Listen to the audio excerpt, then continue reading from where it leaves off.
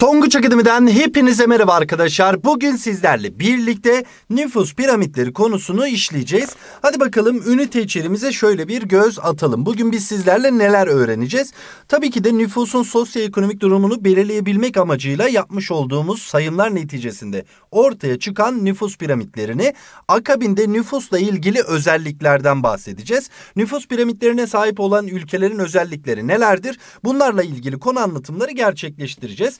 Tabii ki de ben dersimi anlatırken her zaman yaptığımız gibi beni daha rahat bir şekilde takip edebilmeniz için hemen sıfırdan ona konu anlatımlı soru bankası kitabımızı açıyorsunuz. Ünite 2 Beşeri Sistemler içerisinde nüfusun özellikleri ve önemi kısmı var ya orada nüfus piramitleri diye geçiyor zaten. 122. sayfayı şöyle güzel bir şekilde açıyorsun. Hemen kitabımızın içeriğinden de bahsetmemiz gerekirse almayan arkadaşlarımız için biraz da bilgi verelim. Hemen sol tarafta görmüş olduğunuz üzere bu konuyla ilgili genel bir konu anlatımımız yer almakta. Akabinde hemen sağ tarafta da bu konuyla ilgili sizler için hazırladığımız çoktan seçmeli testlerimiz mevcuttur. Siz ne yapıyorsunuz? Konuyu dinledikten sonra hemen konu bitiminde çoktan seçmeli testlerimizi çözüyorsunuz.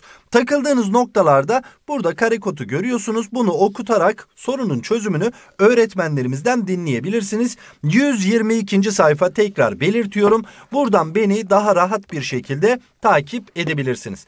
Tabii ki de dersimiz bittikten sonra soru çözümleri de bizim bu konuyu tam anlamıyla oturtmamız için yeterli olacaktır. Bunun için hem map kaynaklarınız aynı zamanda bizim sizler için hazırladığımız Dinamo Soru Bankamız var. Hemen bu kitabı da elinde mevcut olanlar açsın. Sayfa aralıklarında ben gene belirtmiş olayım. Beşeri Sistemler Ünite 2. Burada bölüm 3 var ya 3. bölüm. Göç kısmına kadar ama şu ikinci bölümdeki Türkiye'deki nüfusu başka bir kısımda işleyeceğiz. 110. sayfa nüfus piramitleri hemen şöyle 110. sayfayı da açıyorum. Ünite içeriğimize baktığımızda hemen şöyle model bir soru çözümümüz yer almakta. Akabinde çoktan seçmeli testlerimiz de bulunmakta. Tabii ki de bu kitabın en önemli özelliklerinden bir tanesi bölümler bittiği zaman bölüm sonu tarama testlerimiz yer almakta. Akabinde bölüm sonu tarama testleriyle birlikte çoktan seçmeli testlerimiz, ÖSYM tarzı sorularımız da mevcuttur. Çünkü sizin ileriki dönemlerde yani 12. sınıfın sonunda gireceğiniz TYT ve AYT sınavları yer almakta. Bunun için ÖSYM'nin sizlere sorabileceği tarzda sorular da hazırladık. Tabii ki de 10. sınıfız yazılı dönemine girdiğimiz zaman da bu kitap bizim ihtiyacımız olan bir kitap. Çünkü kitabımızın ünite sonlarında yazılı ile ilgili çalışmalarımız var. Burada doğru yanlışlarımız, bulmaca boşluk doldurmalarımız, klasik sorularımız, eşleştirmelerimiz yer almakta. O yüzden bu sizin hem 10. sınıf için yazılı noktasında yazılıya hazırlık hem de 12. sınıfta TYT coğrafya kısmında karşınıza gelebilecek sorularda bulunması gereken kaynaklardan bir tanesidir diyoruz. Temin etmeyen arkadaşlarımız satış noktalarımızdan kitabımızı temin etmeyi unutmasın. E ödevlendirmemizi yaptık. Takip edeceğiniz yerleri söyledik. Hadi bakalım dersimiz başlasın. Şimdi nüfus piramitleri nedir dediğimizde temel mantığını şöyle bir oturtmamız gerekirse. Şimdi biz nüfus sayımı yapıyoruz ve nüfusun sosyoekonomik durumunu belirliyoruz. Ve bu nüfusun geleceğiyle ilgili planlar yapmak istiyoruz. Yani politikalar uygulamak istiyoruz. Mesela artan nüfusa bağlı olarak doğal kaynakların tüketimi artabilir. Bu ileriki dönemde o ülke için çeşitli zorlukların yaşanmasına sebebiyet verebilir. Bundan dolayı ileriki dönemde ülkeler nüfus artış hızlarını azaltıcı politikalar uygulayabilir. Aynı zamanda yaş ve yaşın cinsiyetlere göre dağılımının öncelikli olarak bilinmesi gerekmekte. Bunun için zaten biz nüfus sayımları yapıyoruz. Ve nüfusun yaş ve cinsiyet yapısını gösteren şurada görmüş olduğunuz grafikleri biz nüfus piramitleri diyeceğiz. Ya da nüfus grafikleri de diyebilirsiniz ama nüfus piramitleri dememiz daha sağlıklı olur. Peki nüfus piramitlerinde neler vardır dediğimizde şurayı şöyle güzel bir analiz edelim sevgili arkadaşlar. Nüfus piramitlerinde görmüş olduğunuz dar aralıklı yaş grupları yer almakta burada. Daha geniş ölçekte de yaş gruplarını gösteren piramitlerimiz mevcuttur. Burada mesela 0, 4, 5, 9, 10, 14, 15, 19, 20, 24 yani beşer yıllık aralıklarla yaş gruplarını ayırmışız. Aynı şekilde burada ayırdığımız yaş gruplarını da şöyle ayırabiliriz. 04, 59, 10, 14. Yani şu hat var ya şu hat 0-14 yaş grubu sevgili arkadaşlar. Burası genç ya da çocuk nüfus olarak karşımıza çıkmakta. Hemen şöyle mantığını da kavrayalım. Akabinde 15-64 yaş yani tam şu hatta olan kısım yani tam şuraya kadar şu aralıkta olan kişilerin bulunduğu alana ise biz aktif ya da yetişkin nüfus ifadesini kullanacağız. 65 yaş ve üstü grup ise yaş nüfus olarak karşımıza çıkmakta. Peki biz bu piramidi neden ikiye ayırdık dediğimizde bu piramidi şundan dolayı ikiye ayırdık. Piramidin bir kısmı erkek nüfusunu bir kısmı ise kadın nüfusunu göstermekte. E bunu nasıl gösteriyor dediğimizde alttaki değerlere bakmamız lazım. Bunlar bizim için çok önemli. Ne diyor burada? Kişi sayısı milyon kişi. 0.6 milyon, 1.2, 1.8, 2.4, 3 milyon. Yani her kutucuğu şöyle mesela aşağıdaki rakamsal değerlerle ilişkilendirdiğimiz zaman misal 5-9 yaş grubu arasında erkek nüfusa baktığımız zaman 2.4 milyon kişi varmış diyebiliriz sevgili arkadaşlar. Yani biz buradaki her yaş aralığındaki kesmi şu aşağıdaki aralığa indirdiğimiz zaman burada erkeklerin nüfusunu bu alanda da kadınların nüfusunu bulabilmekteyiz. Ve nüfus piramitlerine baktığımız zaman o bölgedeki birçok özellikle ilgili bilgi sahibi olabiliriz. Peki bunlar nelerdir dediğimizde hemen şöyle şuraya bakalım. Nüfus piramitlerinden biz yararlanarak neler hakkında bilgi sahibi olabiliyoruz. Toplam nüfus. Nasıl?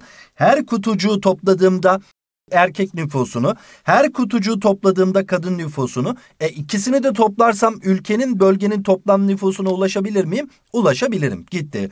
Nüfusun 0, 4, 5, 9, 10, 14, 15, 19 olmak üzere yaş gruplarına göre dağılımını çocuk, aktif, yaşlı nüfus olarak faaliyetlerini bulabilirim. Ortalama yaşam süresini, bununla birlikte doğum ve ölüm oranlarını, nüfus hareketlerini aynı şekilde çok önemli ülkelerin gelişmişlik düzeyleri hakkında bilgi sahibi olabilirim sevgili arkadaşlar. Eğer ki bir piramidin tavan kısmı ne kadar genişse ortalama yaşam süresinin o kadar uzun olduğunu, taban kısmı ne kadar genişse doğum oranlarının o kadar yüksek olduğunu söyleyebiliriz. Ve Bakalım birinci nüfus piramidimiz neymiş? Kenarları içe çökük nüfus piramidi. Şimdi bu piramide baktığımızda hemen mantığını kavramamız lazım.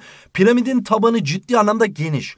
Bu piramidin tabanının ciddi anlamda geniş olması doğum oranının yüksek olduğunu gösterir bize. İkincisi piramidin tavan kısmı yani üst kısmı da çok dar. O zaman bu ölüm oranının da yüksek olduğunu gösterir. O zaman bu piramide sahip olan ülkeler doğum ve ölüm oranlarının fazla olmuş olduğu az gelişmiş ülkelerdir diyebiliriz. Şimdi mantıken düşün. Bir ülkede ölüm oranı neden yüksektir? Sağlık hizmetleri gelişmediği için. Sağlık hizmetleri gelişmemişse ortalama yaşam süresi düşüktür ve bu da ülkenin gelişmişlik düzeyinin düşük olduğuna örnek olarak gösterilebilir. Bununla birlikte bu piramide baktığımız zaman bu ülkede mesela ülke bazlı örnek vermemiz gerekirse sanayi devrimi öncesine ait olan bu nüfus piramitleri günümüzde az gelişmiş Angola, Burundi, Benin gibi ülkelerde görülmektedir. Peki böyle ülkelerde nüfus artış hızı çok yüksek midir dersek bu sorunun cevabı ne olmalı sizce? Bakalım bu piramide sahip ülkelerde nüfus artış hızı çok yüksek değildir. Şimdi şunu düşünüyor olabilirsiniz. Nasıl yahu? Az gelişmiş bir ülke varsa e burada doğum oranı çok yüksek. O zaman nüfusun artış hızının da yüksek olması lazım. Ama biz doğal nüfus artış hızına baktığımız zaman bunun bir formülü vardı değil mi? Doğal nüfus artış hızı diyorum. Eşittir. Bir ülkede meydana gelen toplam doğumların ülke nüfusuna oranına doğum oranı diyorduk. Ölümün toplam nüfusu oranına da ölüm oranı diyorduk. Biz doğum oranından ölüm oranını çıkarıyoruz. Şimdi burada yüksek bir doğum oranı var mı? Var. Çıkardık. Yüksek bir ölüm oranı var mı? Çıkardık. O zaman bunlar birbirine yakın değerlerse tabii ki de doğal nüfus artış hızı çok yüksek olmayacaktır sevgili arkadaşlar. Bunu da unutmayalım. Önemli bir ifade. Geldik ikinci piramidimize. Nedir bu piramit? Düzgen, üçgen biçimli piramit. Şimdi bakıyorum piramidimizin taban kısmı gene maşallah subhanallah geniş. O zaman bu doğum oranının yüksek olduğunu gösterir. Ama diğer piramitle farkı nedir dersek burada biraz işte uyanık olmamız lazım. Hemen şöyle 65 yaş üzeri kesmi şurada siliyorum. Burada da 65 yaş üzeri kesmi siliyorum. Buna istinaden bir tık daha artmaya başlamış. Bakın gördünüz mü burada daha geniş. 65-69'daki erkeklere bakın burada daha az burada daha fazla. E kadınlara bakın burada daha az burada daha fazla. Burada o yaşlı nüfus dediğimiz 65 yaş ve üzeri nüfus artık sağlık sistemlerinin yavaş yavaş gelişmesiyle birlikte ölmemeye başlıyor. E bu da ortalama yaşam süresini uzatıyor. Doğum oranları gene yüksek ama ölüm oranlarının azalmaya başladığı ülkelere ait nüfus piramitleridir sevgili arkadaşlar. Doğum oranının yüksek olduğunun en önemli kanıtı piramidimizin taban kısmının geniş olmasıdır diyebiliriz. Burada artık ne olmuş? Yaşlar artık ölmediği için ortalama yaşam süresi uzuyor. E o zaman burada sağlık hizmetlerinin gelişmeye başladığını söyleyebiliriz. Ve bu piramide sahip olan ülkelere baktığımızda Bolivya, Filipinler, Hindistan gibi gelişmekte olan ülkelerdir. Peki böyle bir piramide sahip olan ülkenin nüfus artış hızı yüksek midir dersek şöyle düşün. Burası yüksek. Yani doğum oranları çok yüksek.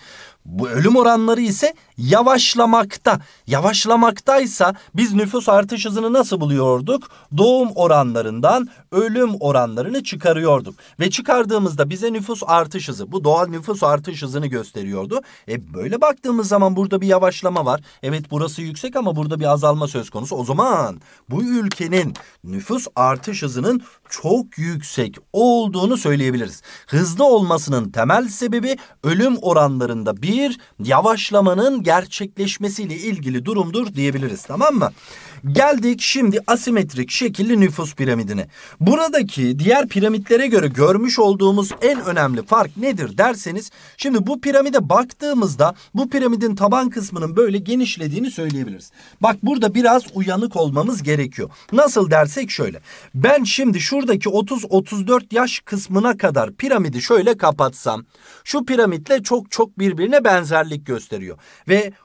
son 20-25 yıllık süreçte bakın dikkat edin yavaş yavaş piramidin tabanının daraldığını söyleyebilir miyiz? Tabii ki de söyleyebiliriz. O zaman burada meydana gelen en önemli değişim, en en önemli unsur nedir dersek doğum oranlarında hızlı bir düşüşün yaşandığını söyleyebiliriz. Peki bu düşüş neden yaşanmış olabilir? Eğitim hizmetleri gelişmiştir, kadın çalışma hayatına girmiştir, okur yazarlık oranı yükselmiştir.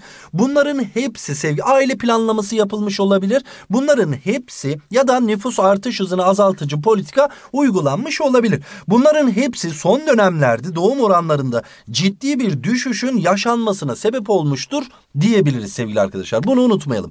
Piramidin taban kısmı daraldı dedik. Bu durum özellikle ülkelerin gelişmişlik seviyesinin yükselmeye başladığını göstergesidir. Hangi ülkeler bu piramide sahiptir dersek Brezilya, Çin, Bangladeş gibi ülkelerin nüfus piramitleri bu şekildedir diyebiliriz.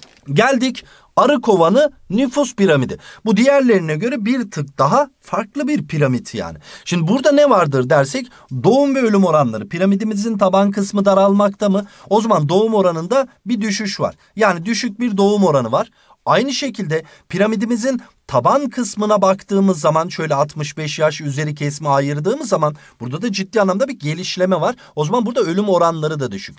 Düşük doğum ve düşük ölüm oranlarının olduğu ülkelere ait nüfus piramididir. Peki bu ülkelerde düşük ölüm ve düşük doğum varsa ülkelerin gelişmişlik seviyesi yüksektir diyebiliriz. Yani gelişmiş ülkelere ait nüfus piramididir diyebiliriz. Düşük doğum oranları nedeniyle piramidimizin taban kısmının daraldığını söyleyebiliriz. Düşük ölüm oranı, ortalama yaşam süresinin uzun, yaşlı nüfusun çok olması da piramidimizin tavan yani üst kısmının da geniş olmasına sebep olmuştur diyebiliriz. Peki bu piramide sahip ülkeler hangileridir dersek Amerika Birleşik Devletleri'ne örnek verebiliriz. Batı Avrupa'daki birçok ülkeyi Hollanda'yı, İngiltere'yi, Almanya'yı, Fransa'yı, Güney Avrupa'ya geldiğimiz zaman İtalya'yı, İskandinav Yarımadası'nda ise İsveç'i bu piramide sahip ülkeler bazlı örnekleri verebiliriz. Şimdi sorum şu size. Bu piramide sahip ülkelerde nüfus artış hızı yüksek midir dersek hemen şöyle bakıyorum. Düşük bir doğum oranı var mı?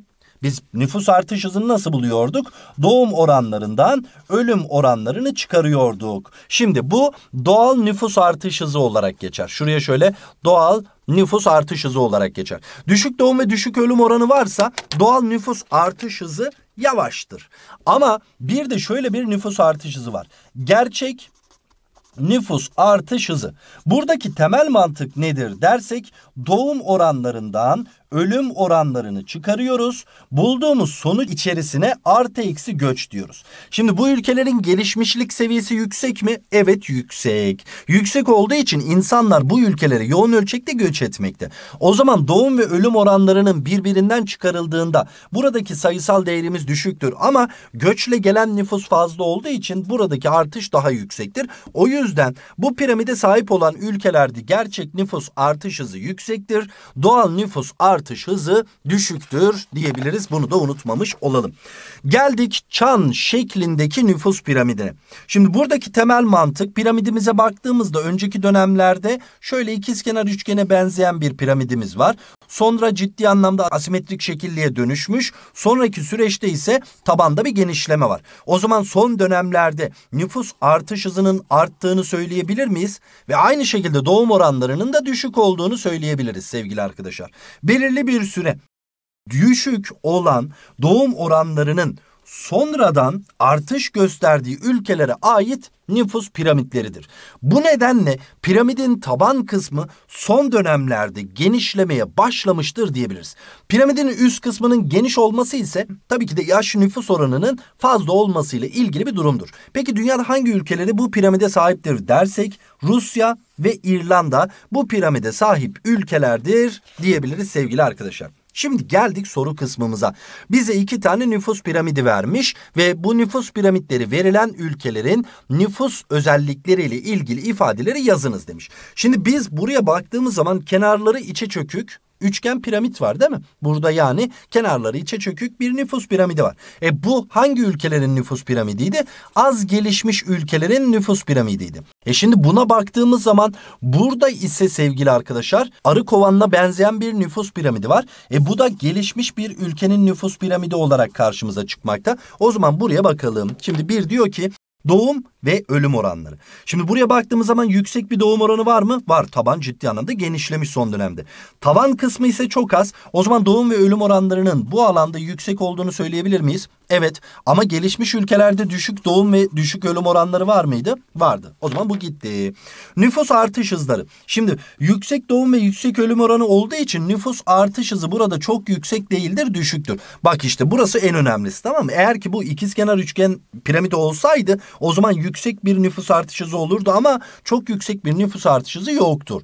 Bununla birlikte buraya baktığımız zaman nüfus artış hızı gene düşük. Niye? Düşük doğum ve ölüm oranı vardır. Akabinde Kır, kent, nüfus oranları. Bakıyorum şimdi az gelişmiş ülkelerde temel ekonomik faaliyetleri şöyle bir sıralarsak tarımsal faaliyetler bir birincil ekonomik faaliyet, sanayi faaliyetleri ikincil ekonomik faaliyet ve hizmet faaliyetleri üçüncül ekonomik faaliyet grubu olarak karşımıza çıkmakta. Kır kent nüfus oranlarına baktığımızda bu piramide sahip olan ülkelerde tarım sektörü en ön plandaki sektördür. O yüzden bu alanda kır nüfus oranının daha yüksek olduğunu, bu piramide sahip olan ülkelerde hizmet sektörünün daha ön planda olduğu için bu piramide sahip ülkelerde de kent nüfus oranının daha fazla olduğunu söyleyebiliriz. Devam ediyorum. Ortalama yaşam süresi. Burada yüksek doğum ve yüksek ölüm oranları var. O zaman burada ortalama yaşam süresi kısadır. Niye? Yüksek ölüm oranı var. Ama burada düşük doğum ve düşük ölüm oranı var. E düşük ölüm oranı varsa ortalama yaşam süresi daha uzundur diyebiliriz sevgili arkadaşlar.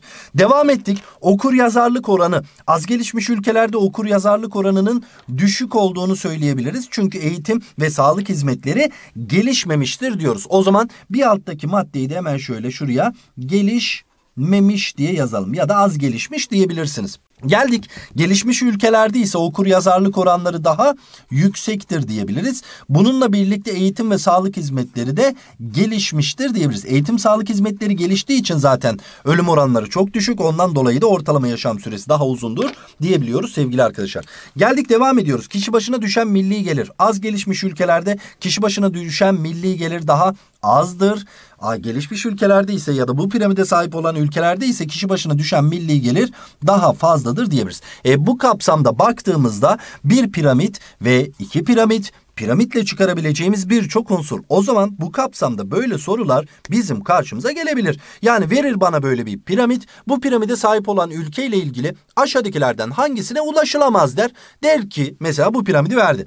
Düşük doğum ve ölüm oranları vardır. Doğru. Nüfus artış hızı düşüktür. Ortalama yaşam süresi uzundur. Okur yazarlık oranı yüksektir. Genç bağımlı nüfus fazladır der. Yanlış. Genç bağımlı nüfus az. Yaşlı bağımlı nüfus fazladır derse doğrudur. Niye? Ortalama yaşam süresi uzun olduğu için yaşlı nüfus oranında daha fazladır diyebiliriz. Aman dikkat bu bizim anlattığımız dersin kısa bir röntgeni olsun diyelim.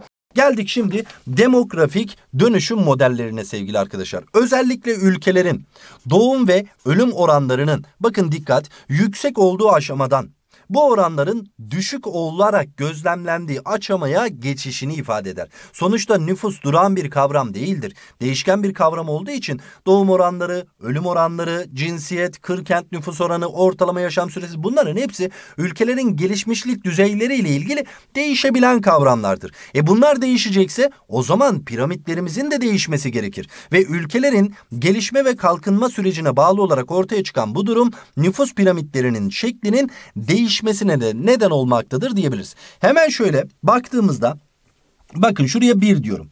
Birinci kısımda ne var burada? Burada bir tane kenarları içe çökük nüfus piramidimiz yer almakta sevgili arkadaşlar. Ve kenarları içe çökük nüfus piramidimizin en önemli unsuru neydi? Doğum ve ölüm oranlarının fazla olduğu. Bakıyorum doğum oranı yüksek ölüm oranı yüksek, doğum ve ölüm oranı yüksekse bak nüfusun doğal artışı. Yani o doğal nüfus artış hızı vardı ya doğal nüfus artış hızı. Şöyle yazalım. E, bu nasıl oluyor dediğimiz zaman ölüm oranlarından hemen ne yapıyoruz?